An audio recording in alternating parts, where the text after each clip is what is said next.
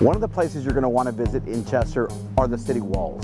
They go back 2,000 years to the Roman times. Uh, they expand about two miles around the city. It's a great area to visit, get your legs moving, uh, look at how the city has grown over the centuries. There's beautiful sites with the river, uh, you know, wrapped around uh, the walls, but you can definitely see the Roman influence in what it's played in the history of this amazing city in England.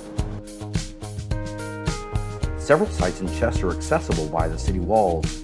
You can visit Chester Cathedral and also its Falconry School.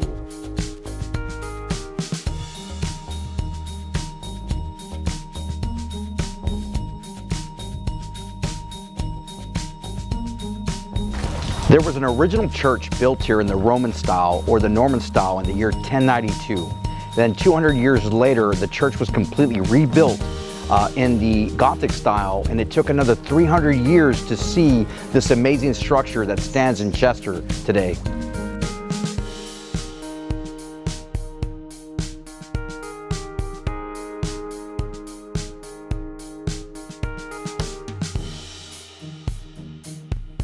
I highly recommend taking the one hour tower tour. You'll climb to the top of the central tower and see the city and two countries, England and Wales. The professional guide will share stories of monks who use the tower for over 900 years.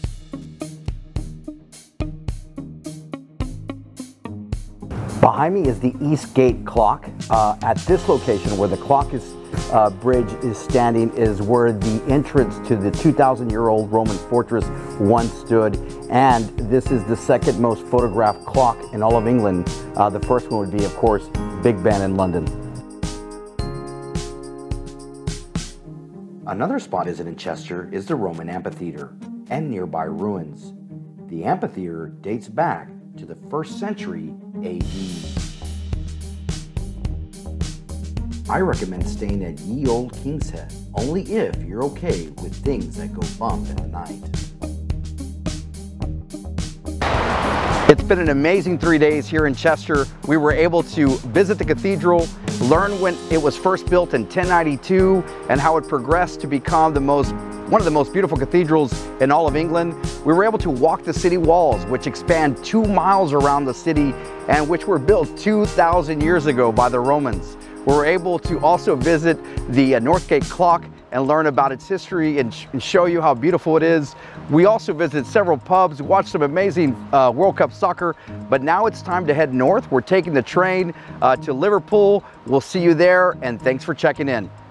Hey guys, I hope you enjoyed this video and if you're planning a trip to Europe, allow us to design the trip for you.